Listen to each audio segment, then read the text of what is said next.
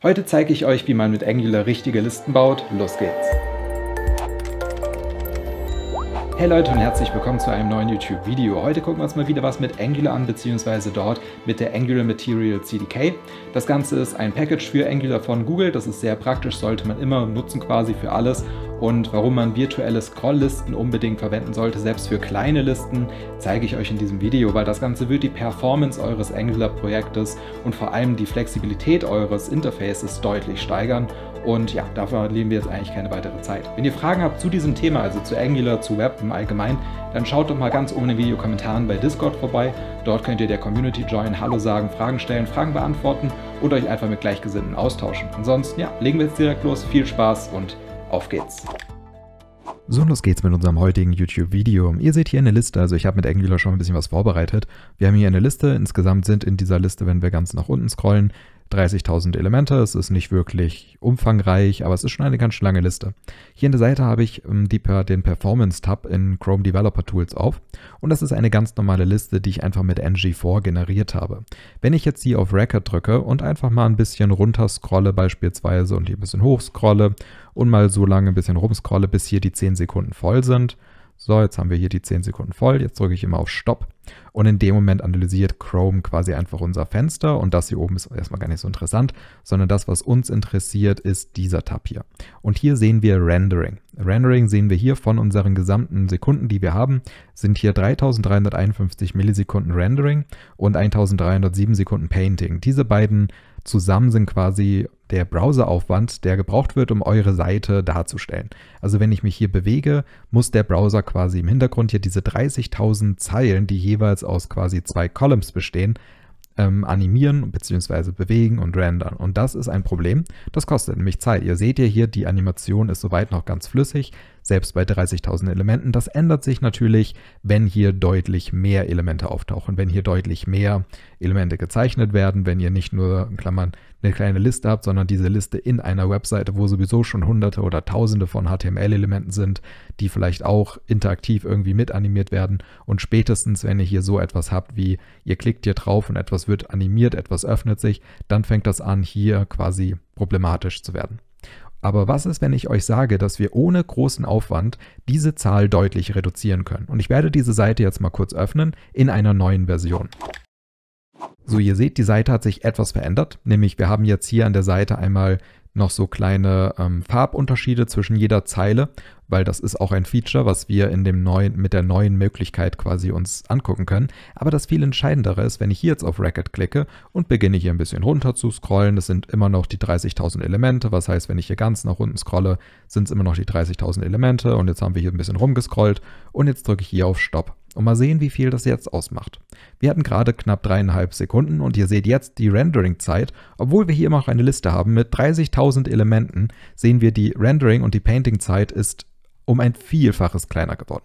Ganz genau, wie viel das kleiner geworden ist, weiß ich gar nicht, aber ihr seht, der Unterschied von dreieinhalb Sekunden zu 181 Millisekunden ist enorm. Und der Aufwand für so einen Performance Boost ist minimal. Also es ist wirklich kaum merklich mehr Aufwand oder irgendwie anders zu arbeiten. Es ist derselbe CSS-Code mehr oder weniger, bis auf dass wir hier jetzt noch so halt dieses Odd-Styling ähm, haben. Aber naja, das werden wir uns jetzt erstmal angucken. So, und los geht's mit unserem eigentlichen YouTube-Tutorial. Ihr seht hier eine ziemlich leere Angular-Instanz. Was heißt, wir haben hier eine App-Module, wir haben hier eine App-Component, eine App-Component SAS und eine App-Component HTML. Die sind alle, wie gesagt, relativ leer. Hier ist nicht wirklich was passiert. Ich sehe, dass hier eigentlich nichts wirklich ist. Ich sehe hier in der SAS-Datei, dass nicht wirklich was ist und in der App-Component auch nicht. Das sehen wir auch hier an der Seite, wo im Prinzip wir einfach nur eine leere Seite haben. Wir brauchen jetzt als erstes mal Daten, um überhaupt was darzustellen. Dafür importiere ich mir in unsere App Component ein Module, das nennt sich Faker.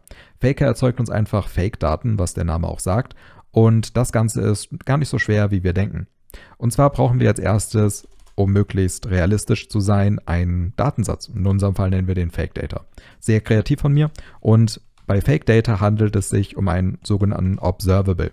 Allerdings nicht vom Typ Any, sondern in unserem Fall von einem Typ namens Person und das ist ein Array. Das heißt, ein Array von Objekten des Types Person. Person existiert noch nicht, das müssen wir uns jetzt erstmal definieren. Was heißt, wir sagen hier unten Interface Person besteht aus einem Namen, der Name ist vom Type String. Observable erkennt unser Editor gerade noch nicht, muss ich einmal importieren von rxjs und in dem Moment haben wir hier Fake Data. Fake Data erzeugt aber, wie ihr hier seht, noch einen Fehler, weil wir hier natürlich unvaliden Code haben.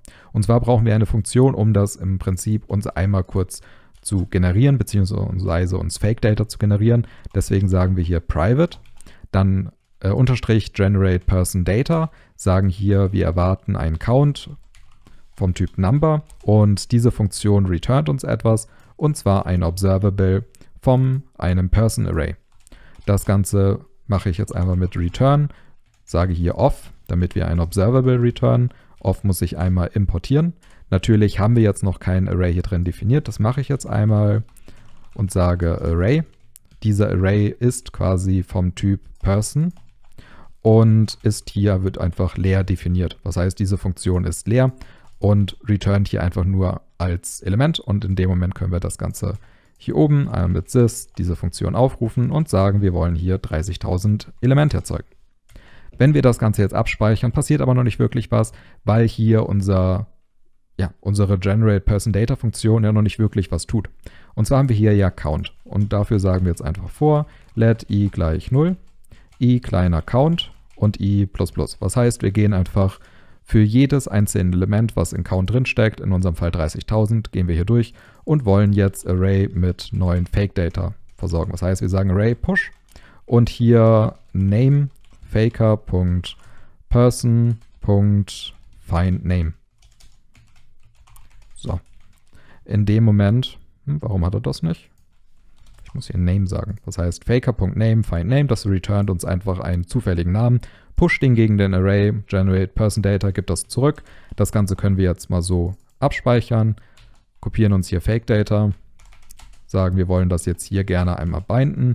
Da es ein Observable ist, müssen wir das mit async machen. In dem Moment speichere ich das einmal ab. Wir sehen hier jetzt einen nicht so schön zu lesenden Output und rendern mir das jetzt einmal als JSON. Und in dem Moment müssten wir hier jetzt quasi gleich eine ganz schön lange Liste von ja, Namen bekommen. Funktioniert schon mal wunderbar. Das sollten wir uns jetzt irgendwie noch besser anzeigen lassen. So, und wie kann man sich das Ganze besser anzeigen lassen? Wir erzeugen uns hier drin jetzt erstmal einen neuen Div-Container. Diesen Div-Container nennen wir List und in List haben wir einen weiteren Div-Container mit der Klasse Row und in Row haben wir einen weiteren Div-Container mit der Klasse Column und diese, diesen Div-Container kopieren wir uns einmal und das müssen wir jetzt irgendwie nutzen, um quasi dafür zu sorgen, unsere Liste hier deutlich schöner anzuzeigen. Das machen wir erstmal auf die ganz natürliche Weise, damit man versteht, okay, wie das generell funktioniert, wie ihr das wahrscheinlich bei euch auch gemacht habt. Wir sagen ng4 let person of und dann in dem Moment sagen wir hier ähm, fake ups, data async und in dem Moment können wir sagen person und haben jetzt hier zum Beispiel person.name. Und wir können jetzt, weil wir das ja kennen, sagen wir hier let index gleich index. Und jetzt können wir hier auch noch quasi den Index returnen und können jetzt hier so eine Nummer ausgeben. Wenn ich das Ganze jetzt speichere, läuft das hier gleich durch und wir sollten jetzt hier eine Liste sehen von allen Namen und dem jeweiligen Index. Das können wir jetzt natürlich noch ein bisschen schöner gestalten. Das mache ich jetzt auch direkt und sage als erstes, okay, wir definieren uns hier einmal Box-Sizing, damit Margin und Padding korrekt gesetzt werden, definieren uns dann unsere Kernkomponente mit dem Host, also mit dem Host Selector, sagen also 100% Weite, Mindesthöhe, 100% Display Flex und so weiter. Dann können wir die unsere Liste definieren, also unseren größten, ähm, ja, die gesamte Liste, sagen wir auch 100%, sagen ein bisschen Padding von allen Seiten und sagen, dass es als Column gestaltet werden soll. Dann generieren wir hier unsere Row innerhalb unserer Liste, sagen 100%, sagen, das ist auch eine Row, das machen wir mit Flex Direction, sorgen dafür, dass alles gezentert wird innerhalb der vertikalen und in der horizontalen soll links und rechts das quasi auseinanderrutschen. Wenn ich das Ganze jetzt abspeichere, sollten die schon mal alle nebeneinander stehen. Hat schon mal wunderbar geklappt. Das machen wir jetzt noch ein bisschen schöner, indem wir die Border ein bisschen stylen. Das heißt, wir sagen, dass es eine Border gibt, außer unten, da machen wir sie weg. Und einen kleinen Border Radius, das speichere ich jetzt ab. Und damit wir das Ganze später auch mit diesem Hover-Effekt ein bisschen netter animieren, füge ich mir hier noch Transition All 150 Millisekunden ein. Das nächste, was wir brauchen, ist natürlich, wir müssen unsere Zeilen stylen und unsere Zeilen bekommen erstmal auch ein bisschen Flex-Styling. Was heißt, wir sagen unsere einzelnen Spalten nicht sein. Unsere Spalten kriegen auch Display Flex. Wir sagen Flex Start, dass das auch hier links startet. Wir sagen, dass es eine Row ist und da drin auch Space Between sein soll. Dadurch sollte das jetzt ein Stück rüberrutschen in dem Moment. und wir haben hier ein bisschen mehr noch reingesteckt. Das nächste, was wir machen, ist, wir gestalten hier die Schriftfarbe, fügen das hier einfach mal ein und sagen hier auch, damit später unsere Animation besser aussieht, Transition All 150 Millisekunden. In dem Moment sieht es jetzt schon ähnlicher aus zu dem, was wir zu Beginn hatten, allerdings noch nicht komplett. Und zwar fehlt uns hier noch ein einziges Attribut, und zwar Padding 20 Pixel, damit hier ein bisschen Abstand innerhalb unserer Spalten herrscht und so sieht das Ganze schon mal ganz ansehnlich aus. Prinzipiell könnten wir das jetzt so lassen, um ein bisschen Eye Candy zu erzeugen, füge ich jetzt hier aber mit dem sogenannten Unselector ähm, also mit dem Unzeichen hier und Hover, quasi aus, dass wir jetzt einen Hover-Effekt haben. Den üben wir hier auf unsere einzelnen Spalten aus und sagen, wir rutschen das rüber, verändern die Schriftfarbe und machen unseren Cursor zu einem Pointer. Wenn ich das Ganze speichere und hier mit der Maus jetzt drüber gehe, beziehungsweise wenn es geladen hat und ich jetzt hier drüber gehe, sehen wir, wir haben hier einen Effekt, der funktioniert okay. Ihr seht, er ist ein bisschen off und das hat schon damit zu tun, dass wir hier halt 30.000 Elemente drin haben. Wenn ich hier jetzt quasi bis unten scrolle, seht ihr, wir haben hier 29.999 Elemente. Das ist jetzt quasi die Liste, wie sie auf die alte Variante gemacht wurde. Wir sind aber cleverer. Wir wollen das Ganze jetzt auf die coole Variante machen. Aber wie zum Teufel kriegen wir das mit der coolen Variante hin? Das zeige ich euch jetzt. So, und zwar brauchen wir, wie anfangs angekündigt, dafür Angular Material. Der Link ist dazu in der Videobeschreibung, ansonsten ist das material.angular.io.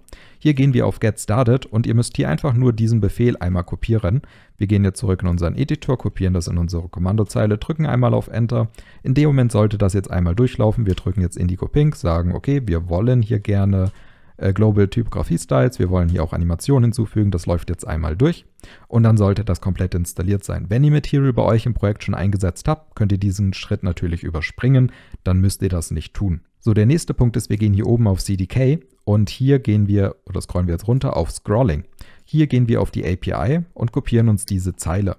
In unserem Angular-Projekt öffnen wir jetzt einfach nur die App Module das kann ich jetzt wieder zumachen, weil mehr müssen wir gar nicht tun. Hier seht ihr auch schon, wurde Browser Animation Module und Browser Module hinzugefügt. Das sind auch beides, kommen aus dem Material äh, Package. Und hier sagen wir jetzt Scroll Module wollen wir gerne einfach importieren, damit wir das überall in unserer Anwendung nutzen können. Und in dem Moment können wir unsere Konsole hier unten zumachen, Module zumachen, die SAS zumachen und hier auch unsere TypeScript-Datei zumachen. Die brauchen wir alle nicht mehr, sondern wir nutzen nur noch unsere HTML-Datei. So, und unsere HTML-Datei braucht jetzt ein neues Attribut beziehungsweise eine neue Art, weil das, wie wir es jetzt hier gemacht haben, so wollen wir das später nicht mehr machen. Wir wollen das jetzt anders machen und wir importieren uns dafür eine Komponente, die heißt CDK Virtual Scroll Viewport. Und das ist sehr interessant, weil was das genau macht, was diese Komponente macht und was die Performance quasi erzeugt, weil ihr könntet das theoretisch auch selbst bauen, auch wenn ich nicht wüsste warum, ähm, werde ich euch gleich erklären. Aber erstmal sollten wir jetzt unsere Liste, wenn ich das Ganze jetzt nämlich abspeichere, wieder erzeugen, dass unsere Liste auch wieder hier auftaucht. Natürlich wird jetzt unser div-Container hier oben, der die Klasse List hat, ersetzt. Was heißt, wir geben jetzt unserer Liste hier die Klasse Liste, damit die die passenden CSS-Attribute bekommt. Außerdem erwartet die Virtual Scroll Viewport Component ein Attribut. Und zwar erwartet die Item Item Size. Und Item Size ist quasi die Höhe der einzelnen Elemente. Ich weiß, weil ich es vorher schon berechnet habe, eine unserer Spalten ist 61 Pixel groß. Das könntet ihr einfach manuell berechnen und festsetzen. Ihr könnt es aber auch dynamisch berechnen und hier dynamisch über eine Funktion eingeben. Das funktioniert genauso gut. Als nächstes kopiere ich mir quasi diese drei Zeilen, die wir hier drin schon haben, weil da verändert sich gar nicht so viel. Wir haben immer noch einen Div-Container mit Row, wir haben hier immer noch die beiden Columns. Das Einzige, was sich verändert, wir haben keine ng4 mehr, sondern wir haben hier eine neue Funktion, und zwar die CDK Virtual 4. Das hier drin sieht genauso aus. Das verändert sich gar nicht, das bleibt identisch, auch Index bleibt identisch. Wir haben nur, wenn wir hier drüber gehen, noch ein paar mehr Attribute. Wir haben nämlich auch zum Beispiel so etwas, wie odd. Das heißt, wir können nicht nur sagen, wir haben einen Index, sondern wir können auch hier sagen, ähm, let odd gleich odd. In dem Moment wird das hier zu true oder zu false, wenn eine oder wenn das aktuelle Element ungerade ist. In dem Fall können wir hier einfach sagen, class.odd wollen wir setzen in dem Moment, wenn odd true wird. Und jetzt könnten wir das natürlich oder sollten wir das hier noch stylen und sagen hier zum Beispiel, wenn unsere Column die Klasse Odd bekommt, dann wollen wir zum Beispiel einfach, wir müssen hier natürlich auch Background Color vergeben. Das bringt ja sonst gar nichts. In dem Moment sehen wir hier, funktioniert wunderbar. Wir machen aber hier eine andere Farbe. Wir machen mal diese Farbe hier rein, ein bisschen heller, beziehungsweise das war dunkler, das war nicht so schön. Machen wir das mal einfach mit der Farbe hier so. Zack. So, jetzt haben wir hier unsere Odd-Color drin. Das funktioniert natürlich auch mit Even. Aber prinzipiell, wenn ich jetzt hier scrolle, seht ihr, es funktioniert einmal der Hover-Effekt, funktioniert deutlich besser und effizienter und das Ganze berechnet sich auch besser und effizienter. Aber wo ist jetzt der Clou dahinter? Wenn wir hier mal in unseren Browser reingehen, F12 drücken und hier unsere wunderbare Ansicht bekommen, dann wählen wir hier nicht die Performance aus, weil wir wissen ja schon, dass es besser ist, sondern wir gehen hier auf Elements. Und in Elements gehe ich jetzt mal runter und sehe hier unsere Component, unser Virtual Scroll und hier drin finden wir unsere ganzen Elemente. Aber Moment mal, das sind keine 30.000 Elemente, die ihr hier seht. Das sind deutlich weniger. Ich weiß noch nicht genau wie viele, aber es sind deutlich weniger. Und grundsätzlich passiert nämlich folgendes, wenn wir hier mal reingehen, sehen wir hier oben, das ist das aktuell oberste Element, das ist dieses hier. Wenn ich jetzt nach oben scrolle, seht ihr, dass neue Elemente vor unser Element gezeichnet werden. Was heißt, diese Liste erzeugt quasi permanent neue Elemente. Wenn wir nach unten scrollen, erzeugt es die neuen Elemente quasi hier unten und wenn wir nach oben scrollen, dann erzeugt es die neuen Elemente hier oben. Sodass quasi nur die Elemente wirklich gezeichnet und zu sehen sind, die aktuell im Screen ja wirklich sichtbar sind. Manchmal, so es läuft ein bisschen so, dass die vor dem eigentlichen Screen gezeichnet werden, sodass es so aussieht, als wenn jetzt zum Beispiel auch hier das Element schon zu sehen ist, obwohl es eigentlich ja noch gar nicht richtig zu sehen ist. Aber prinzipiell zeichnet diese Komponente für uns nur die Elemente, die wir gerade wirklich sehen. Und obwohl hier 30.000 Daten drin liegen und 30.000 Elemente gezeichnet werden müssten, tut es das nicht. Und das ermöglicht dem Browser viel weniger Elemente zu animieren und zu rendern, was natürlich die Performance deutlich nach oben oben treibt. Was heißt, wenn ihr dieses Virtual Scroll Element überall verwendet, wo ihr NG4 in Angular verwendet, dann hilft eurer Performance das enorm. So, das war schon wieder für diese Woche. Wenn euch das Video gefallen hat, hinterlasst einen Daumen hoch oder einen Kommentar unter dem Video und erzählt doch mal, wie ihr die virtuellen Listen bei euch einsetzen werdet. Ansonsten, wenn ihr Fragen, Probleme oder sowas habt, ganz oben in der Videobeschreibung findet ihr jede Menge Social Media Links oder auch Affiliate Links zu Partnerseiten, wo ihr diesen Shell supporten könnt. Ansonsten sehen wir uns nächste Woche wieder. Bis dahin viel Spaß und ciao.